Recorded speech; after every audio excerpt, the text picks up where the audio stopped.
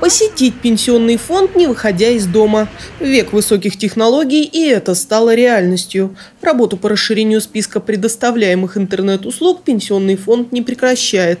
В среду в Ивановском отделении презентовали еще несколько опций. Почти каждый месяц дополняются услуги, например, по возможности подать заявление на разные услуги пенсионного фонда. Если раньше, например, еще 2016 году можно было через личный кабинет подать заявление только на назначение пенсий, то сегодня, например, можно подать заявление и на назначение выплат и средств пенсионных накоплений.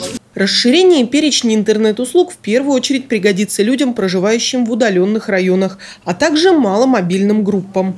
Инвалидам и пожилым жителям региона теперь не обязательно преодолевать расстояние, чтобы получить необходимую информацию, подать заявление или заказать какой-то документ. Интернет теперь есть почти в каждом доме. С этим проблем не возникнет. Но пенсионеры не самые продвинутые юзеры. По словам руководителя Ивановского пенсионного фонда, сервис очень прост. Осилит каждый Достаточно зайти на сайт, к каждому пункту есть инструкции. Наши территориальные органы пенсионного фонда на местах, так и органы социальной защиты населения. Я знаю, что при ветеранских организациях работают тоже такие же клубы, где э, старшие наше поколение, уважаемые ветераны, осваивают азбуки интернета, предоставление вот этих госуслуг, они могут, конечно, получить и с помощью э, своих, наверное, близких родственников, внуков, там, детей и так дальше. То есть это все можно, это реально.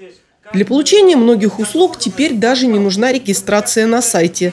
Направить обращение в пенсионный фонд, задать вопрос онлайн, заказать справку или записаться на прием можно просто, указав свои данные, без очередей и нервов. Наталья Гутарина, Андрей Семиволков, РТВ Иванова.